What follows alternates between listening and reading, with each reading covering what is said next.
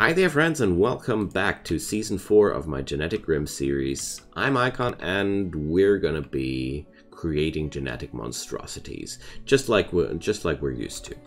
So season 4 will be the final season of this series. If we manage to create the Archotech project, I'm gonna be very very happy because this will be a first timer for me.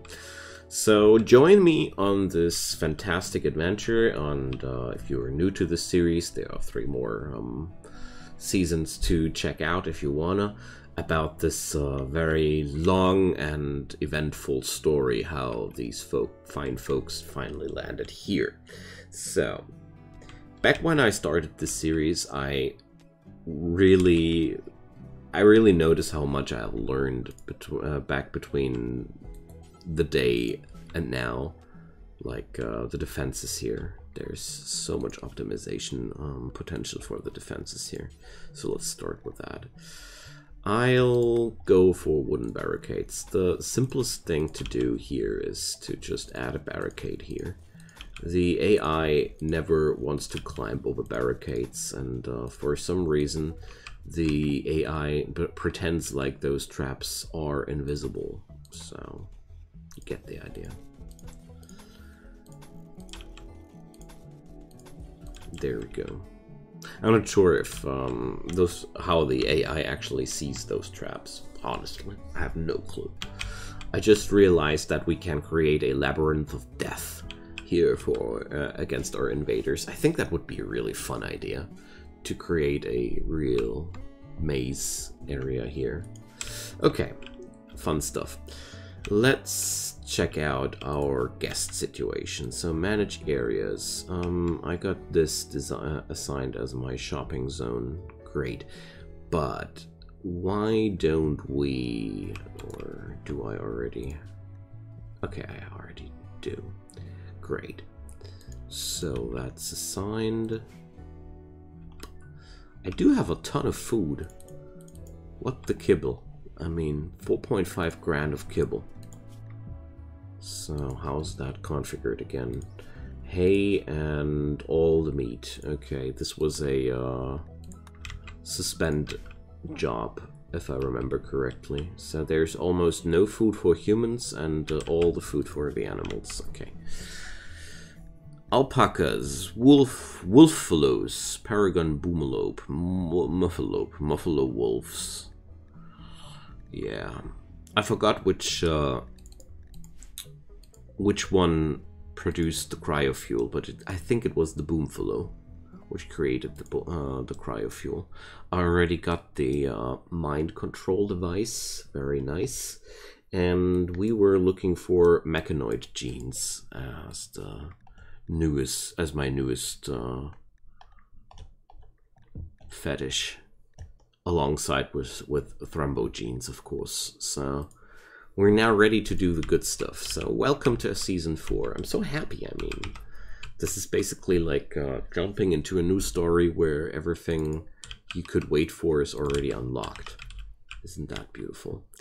Okay, so let's get started with the storage furniture here. We're gonna need some food baskets for real. No, no, they don't fit. Well, I can't do this then. there are just a few things that I'm not able to do. Breaking symmetry, for example. Okay. So, or well, that's not entirely true. Sometimes I'm perfectly fine with breaking symmetry. Sometimes I'm not. So this place, we can just delete that. Just creating unnecessary work. Weapon-wise, how am I standing here? Pump shotgun. That's not really high-tech. That's not really high-tech either. That's no-tech. Oh dear. So, what have been here? Nothing better. I mean, I didn't really expect something better, but got a bunch of good insanity items. That's worth something. I can already produce shells. Okay, good stuff.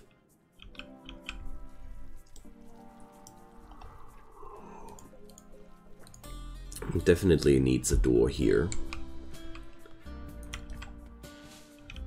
And good sir, please, please do this now. I want to uh, get the kibble out of the freezer, you know.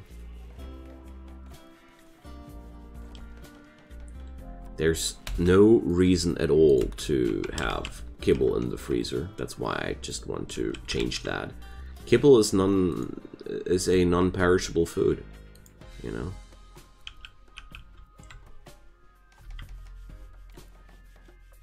Therefore, I want those finished. So, storage. Clear all except for kibble.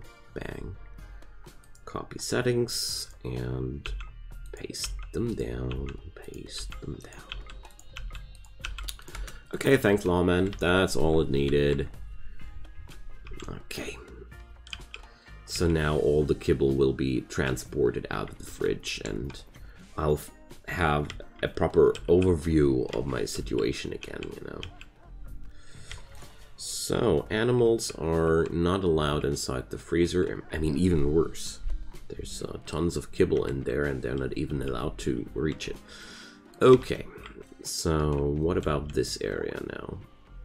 We have struck sunstone. Hey, Johnny, good stuff.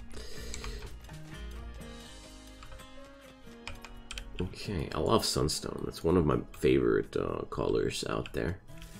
Hmm, insectoids.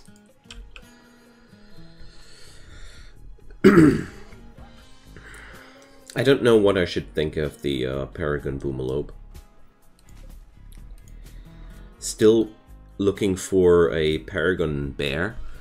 the Paragon, Paragon Tortoise is uh, no longer a project. Paragon Rat was just disgusting. Paragon Iguana is still on my bucket list. Um, let's do it like that. Paragon Muffalo. Did I already do that? I don't think so. Got to do that. Definitely got to do that.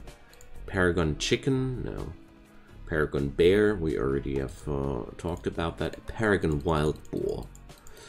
Just uh, doing this as kind of a to-do list, you know. Emu. I don't think we're gonna meet emus or ostriches here, sadly. Rhino. Wow, that would be badass. Wolf. Definitely. Definitely wolf. Wolf is also on the table from time to time here. Iguana already on the list, so good stuff. I love this. This is such fun. So tissue growing vat. Um, mechanoid heart. That's really uh, powerful stuff, you know. Iguana scales. High temperature venomous fangs, Thrumbo skin. Wow. That's that's impressive. Thrumbo horn. Kidney toxic filters. Wow. That's really good stuff. Psychic dampeners. Yeah, well. Insectoid antennae. Yikes. Compound eye. Bunny ears. Mole rat nerve dampener. Hmm, that's actually good stuff. So, uh, how much for that wire mesh here?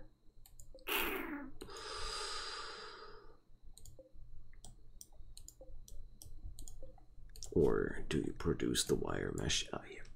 So, steel plus steel and component.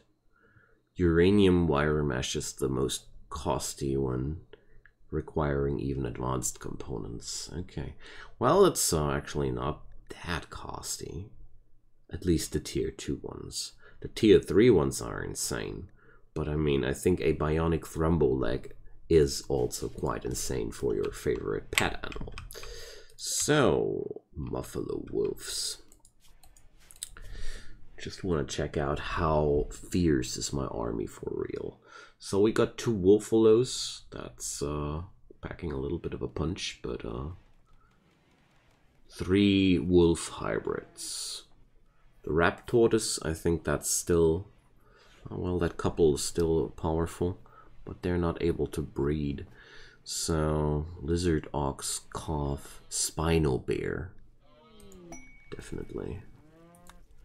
Definitely worth mentioning the spinal or defining the spinal bear a little bit more. So, what are we gonna do here? Um, I really feel like we could do a pretty neat line of defense by creating a death corridor alongside this area here and uh, funneling my enemies um, into this area here. I mean, there's always the risk of getting attacked from this flank, so I definitely should have a plan B. So, I think I should work on the plan B first, because this side looks already quite like uh, a, a pretty tight defense. I mean, it's not perfect yet, but, uh, well...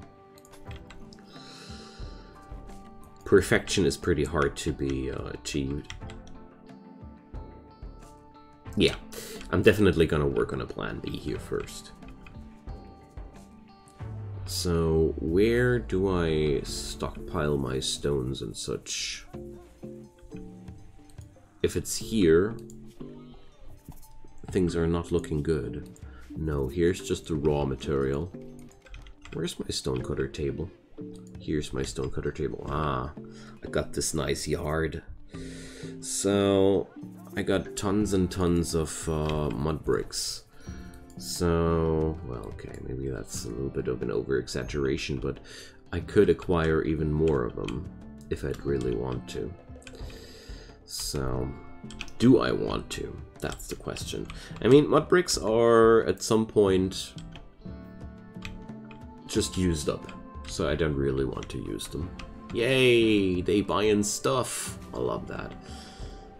All I need now is uh, some some place where I want to buy stuff, but there's uh, that's always happening sooner or later. People come with stuff you want to buy. It's always like that. Okay, so I got lots of wood to work with here, but at the same time I really feel like uh, grabbing up my my crew and taking care of that uh, Feralisk problem here. Because, you know, these things will hunt ultimately something of my livestock. Sooner or later they always do that, and uh, therefore I'll rather act before they do. Because Feralisks are just like that. They're always uh, in for some trouble.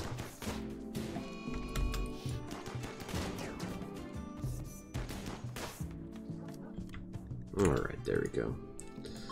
Just wanted to make sure that these beasties won't be any trouble for my for my colony anytime too soon. Good stuff. Alright. Would be a shame. Completely unnecessary if uh, something happened there.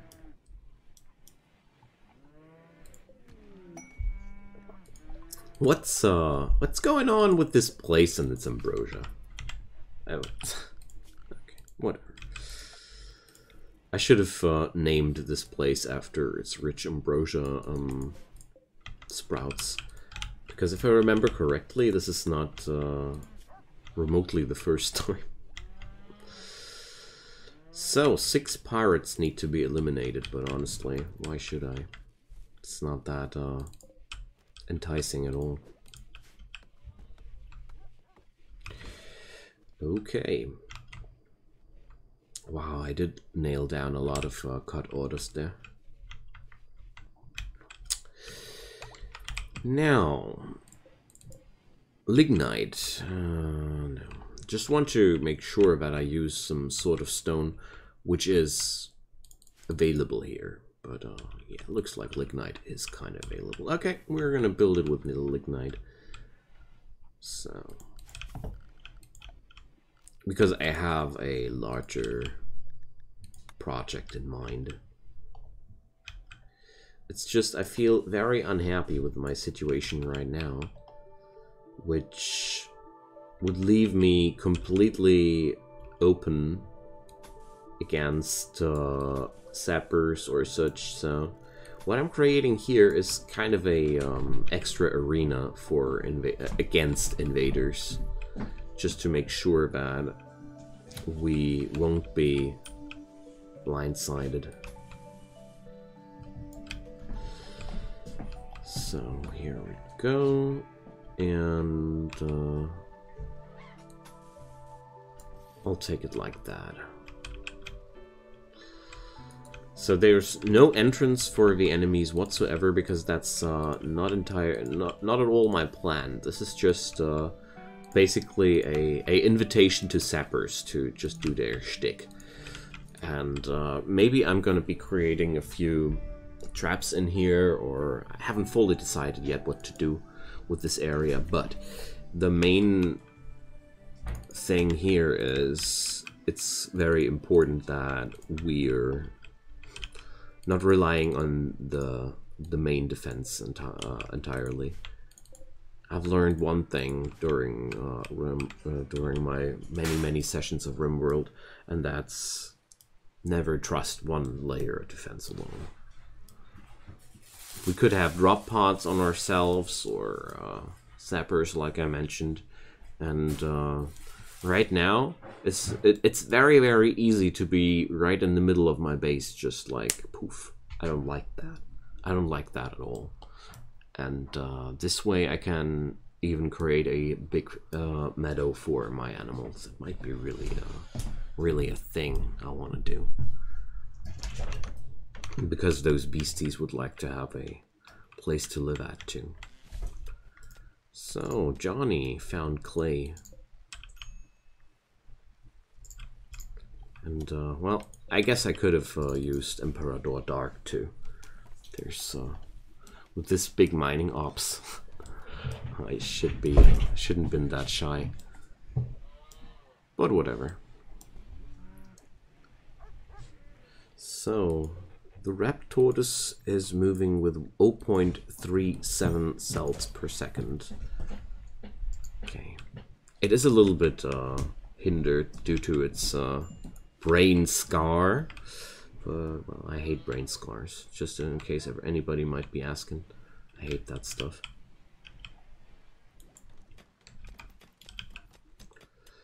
Okay, so we, we struck tons of clay, actually.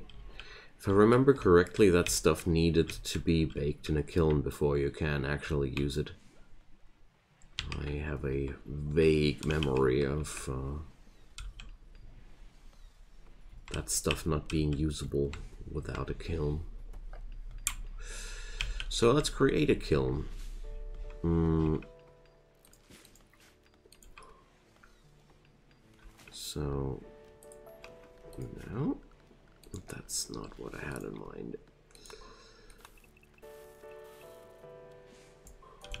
Let's go for something like that.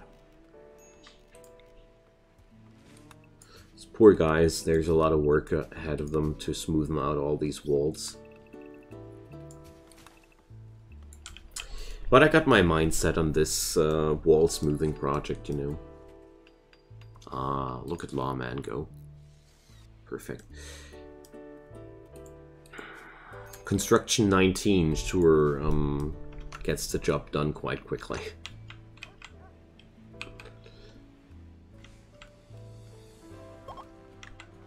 So, they really enjoyed their stay. Um, they left me silica wafers and hungry mix. what a parting gift. Careful guys, those are not to, uh, to be eaten. What can I do with silica wafers? Okay. Can't, uh, too many, uh, too many mods. So, archotech projects. Your colony is a thriving mecca of genetic engineering, pushing the limits of what was previously thought to be possible. But can you go even further? Your researchers have suggested that it may be possible to integrate one of the mechanoid biomonstrosities with a subjugated Archotech AI. Would it be wise? Probably not. Would it be cool? Hell yeah. I love uh, flavor texts like these. So, I get, I guess we're um, now heading towards a similar path. This is, sounds like an endgame path, you know? Similar like the uh, spaceship. Similar to the spaceship, sorry. Okay, I really should cons also consider to invite a few of my guests to stay just a little bit longer. Oh, what's happening? Ah, visitors. I was just talking about people like you. So, Ithweba World Treaty. Um, plus 31. Well, we're not the best friends, but also we're not on uh, bad terms here.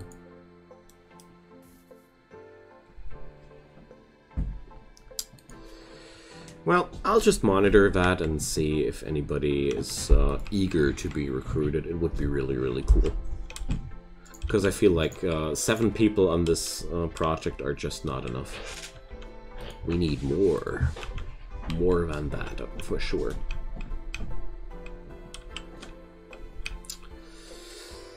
So, seems like I'm out of stones. Where am I?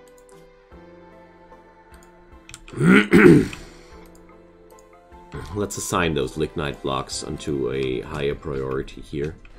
I mean, there is a ton of work to be done, but, uh, well. Maybe somebody finds time. But there are 200 uh, stone blocks more for Lawman to work uh, with. So...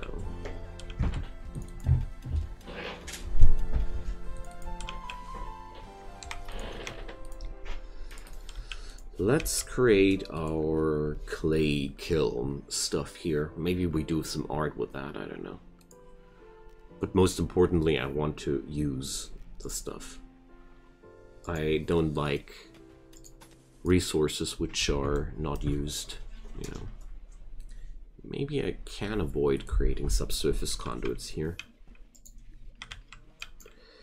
So, the archotech Oh yeah, here. Controlling this planet. Who cares about freedom or home? The Archotech Project might allow you to finally call this planet home with the freedom carved from the charred bones of your enemies. Oh, that sounds uh, delightful. The Archotech Project platform will take 15 days to charge up. Once you begin that process, the Archotech AI will resist its subjugation and will emit an, en an energy signature detectable from thousands of kilometers away. Ah, that sounds... Uh, that sounds like something I know. Raiders will flock to attack you in waves with an intensity you've never seen, blah blah. So, nothing new here. It won't start. Okay. Okay, so um, we're gonna we're gonna do this. Let's see. First up, we have, of course, to research the uh, the necessary components and uh, I'm far, far away from feeling ready uh, to take on this challenge. So there's a bunch of dinosaurs here. So, I mean, having dinosaurs kind of like available sounds OP as much as it can be. So let's see, Corythosaurus. How much dinosaur materials do I still have? None, as it seems. Wait a sec, I had this uh, genetic extraction table here, didn't I? Yeah, I have no dinosaur genes. Let's change that. Also, is there anybody who wants to join me? Not yet. I really just want to take the people who want to join me on their uh, own volition because I feel like that's the safest way to keep your relationships stable with your neighbors. Okay. But seriously, let's uh, let's pick up those genes.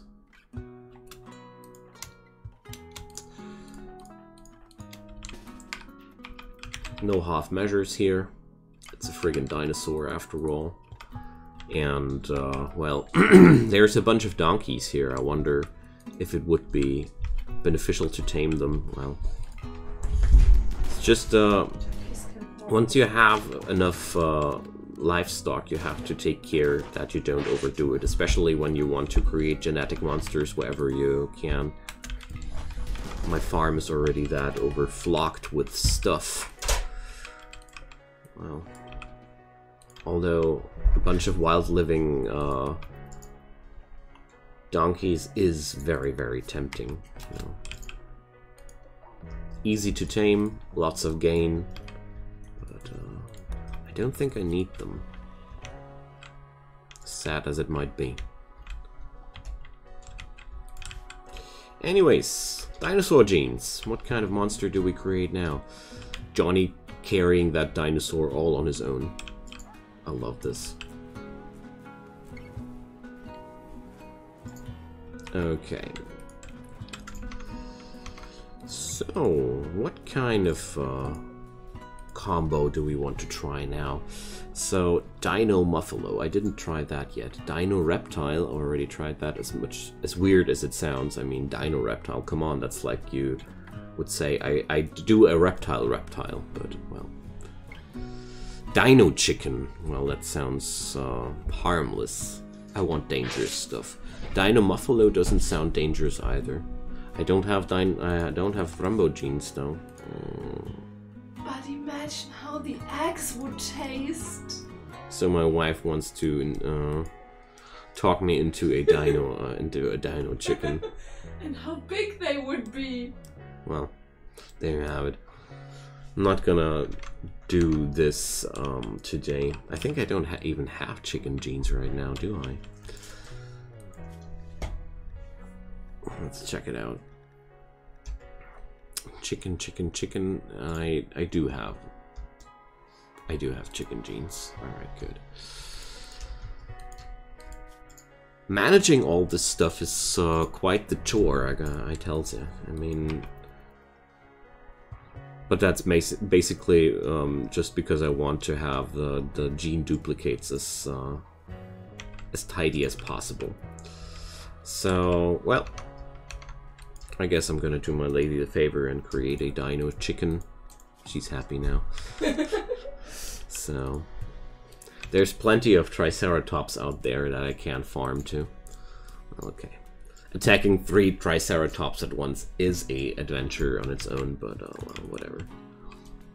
I guess working with dinosaur gen uh, genetics is always uh, some kind of an adventure. Let's just hope that we're not gonna create a flesh beast this time. That would be a shame. But, uh... Meeting with Sparrow. Oh, the Blue Moon people want some uh, peace talks with me. So let's check out who's the best social person. Chirpy and Lawman. So I'm gonna send people over there because I'd really appreciate friendly relationships with these people again. So let's send Chirpy and Paul Pearl because these two guys are able to to fight things off if necessary. They're also allowed to ride um, the, the explosive animals. Go forth and bring peace on explosive animals. Okay, so that's done. The Dino Chicken Incubator is now um, ready to hatch sooner or later. Pearl has food poisoning from berries. They're such a dangerous, dangerous food type, whatever. I wish just the tooltip could be a little bit uh, less strange. I don't consider berries as a dangerous food type. Nobody does, except for its, uh, except if it's poisonous berries, but they're not. We checked first. So this guy wants to sell me uh, wants to sell me donkeys. I got my own donkeys if I would want them. Thanks. Keep the donkeys. But I'll take the plasteel, all of it. Thanks. Awesome. It's really, really, really awesome if some uh, guy comes along and offers you that. So, oh my god, a psychic animal tamer. I definitely want that. Psychic pacifier. Making them join your faction. What, whatever. I, I need a use for all that money. Archotech shield belt, nah. Nah. Gold, yes please. So, I now have a massive stockpile of psychic uh, items on this colony. I rarely use them, but honestly, this is such a good way of keeping this place safe.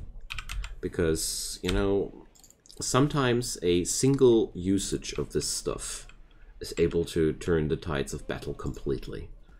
Therefore, whoa, what the nitroglycerin? So, um, I got so much of that.